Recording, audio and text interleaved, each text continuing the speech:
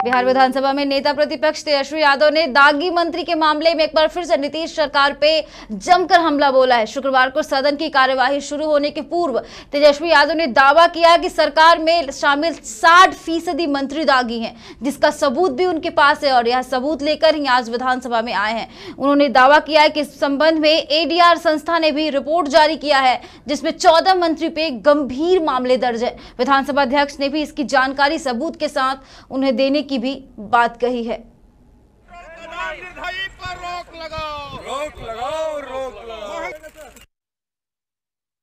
कई बार सदन में हमने उठ करके एक बात कही थी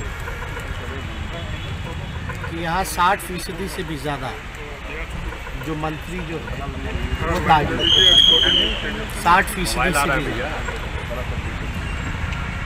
हमने ये भी बोला था कि हम लोगों के पास काफ़ी प्रमाण है और बिना तथ्यों के हम लोग कोई बात नहीं कहते हमने राम सूरत राय जी के बारे में कई जानकारियाँ आप लोगों को भी साझा किया है। जरा मोबाइल पीछे कीजिए ना भाई। लेकिन कई ऐसी एविडेंस जो सबूत जो थे जो हम चाहते थे कि हाउस के सदन के पटल पर रखे उसको रखने का मौका नहीं मिला। कई बार स्पीकर साहब ने, अध्यक्ष महोदय ने हमको बोला कि अलग से पहले जब तक वो देख नहीं लेते, कि तथ्य क्या है। तभी आप